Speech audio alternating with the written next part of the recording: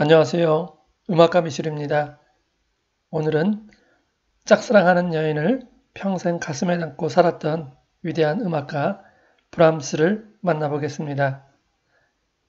브람스는 19세기 낭만주의 시대에 시대의 물결에 흔들리지 않고 자신만의 음악을 만들며 전통을 존중하면서 개인의 특징을 잘 살린 음악가입니다. 1833년 북부 독일의 항구 도시 함부르크에서 태어납니다. 브람스 아버지 요한 브람스는 호른과 더블 베이스 연주자였습니다. 브람스는 5살 때부터 아버지에게서 바이올린과 첼로를 배우면서 음악가로서의 길을 걷기 시작합니다. 7살 때부터 오토 프리드리히 코셀에게서 피아노를 배우기 시작합니다. 어린 브람스가 음악에 뛰어난 재능을 보이자 브람스 부모는 미국으로 건너가 천재 신동 음악가로 돈을 벌려고 했으나 스승 코셀이 반대하여 결국 성사되지 못합니다. 코셀은 자신을 가르쳤던 스승 에두아르트 마르크센에게 브람스안을 보내 가르침을 받게 했고 브람스는 마르크센에게서 작곡법과 음악론을 배우면서 음악가가 되겠다는 생각을 확고히 합니다. 브람스는 11살 때부터 작곡을 시작했으나 완벽주의였던 브람스는 젊은 시절에 작곡된 브람스의 여러 곡을 대부분 파기했습니다.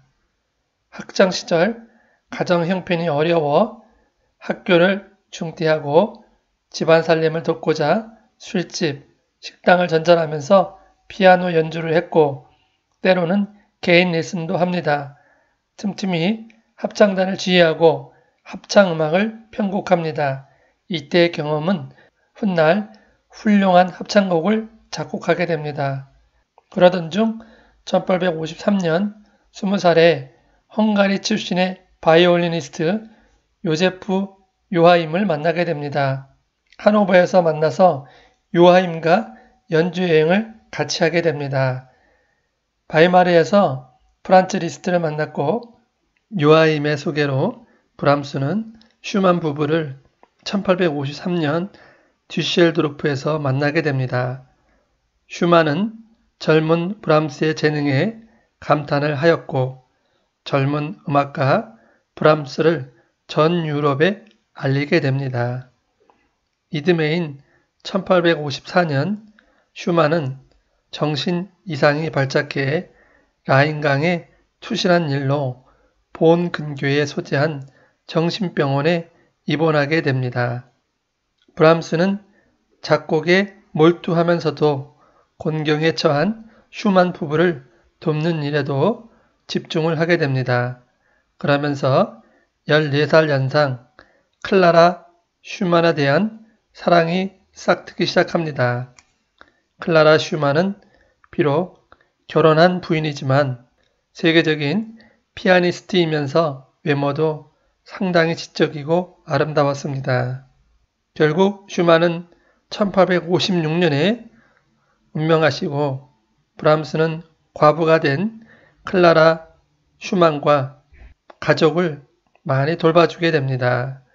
클라라 슈만이 연주회를 할 수 있도록 집에 있는 아이들을 많이 돌봐주었고 아이들도 브람스를 좋아하고 잘 따랐다 합니다. 하루는 브람스가 용기를 내어 클라라에게 사랑하는 마음을 고백합니다. 하지만 클라라는 나는 당신의 음악을 사랑합니다. 하지만 나의 남편은 죽은 슈만뿐이라 답변했다 합니다. 클라라는 브람스와 친분을 유지하면서 선을 확실히 그어 친구 이상으로 발전이 되지는 못합니다. 그 이후 브람스는 클라라에게 부담을 주기 싫어서 다른 지역에서 살게 됩니다.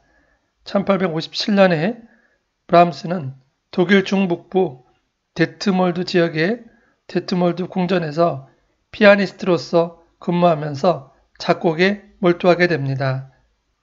이 시기 1853년에 25살 아가테 폰 지볼트라는 여성과 약혼하지만 어느 날 갑자기 브람스가 일방적으로 파혼을 하게 됩니다.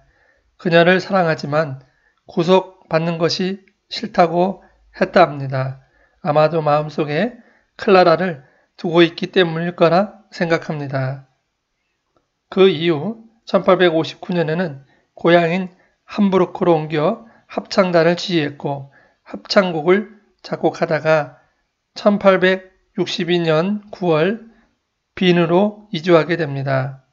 1863년에 빈 징 아카데미 합창단의 지휘자로서 초빙된 브람스는 그곳에 머무르는 동안 많은 뛰어난 작품을 작곡하게 됩니다.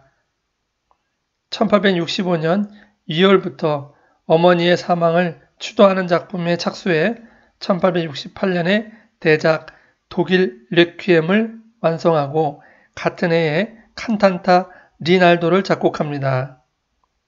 1872년 가을부터 1875년까지는 빈 음악인 협회장으로 있으면서 합창단과 가는악단의 정기 연주회를 지휘합니다. 1876년에는 20여 년에 걸쳐 작곡한 교향곡 제1번을 작곡합니다. 그리고 브람스는 자신의 여러 작품을 잇따라 발표하게 됩니다. 1877년에는 교향곡 제2번이 완성이 됩니다. 1878년에는 바이올린 협주곡과 바이올린 소나타를 발표했고 이드메인 1879년에는 브레슬라우 대학에서 명예 박사학위를 받게 됩니다. 이에 감사의 표시로 작곡한 곡이 바로 대학 축전 서공입니다. 1883년에는 교향곡 3번이 1885년에는 교향곡 4번이 완성되었습니다. 말년에 지인들이 찾아와 선생님 곡 중에 가장 좋아하는 곡이 무엇이냐 물었다고 합니다. 브람스는 제가 가장 좋아하는 것은 마지막 거라 답변합니다. 교향곡 4번을 좋아했다고 합니다. 1890년에 이르러서는 브람스는 몸이 약해지고 체력의 한계로 약간의 클라리넷 곡을 작곡하였고 1896년 오랫동안 친구이고 짝사랑했던 클라라 슈만이 운명하게 됩니다. 클라라 슈만이 죽은 후에 브람스 건강 상태는 더욱더 악화되기 시작합니다. 브람스는 클라라 슈만의 죽음을 이렇게 이야기합니다. 나의 삶의 가장 아름다운 체험이고 가장 위대한 자살이며 가장 고귀한 의미를 상실했다. 이렇게 표현했습니다. 브람스는 클라라 슈만이 죽은 이듬해 1897년 간암이 매우 악화되어 결국 운명하시게 됩니다.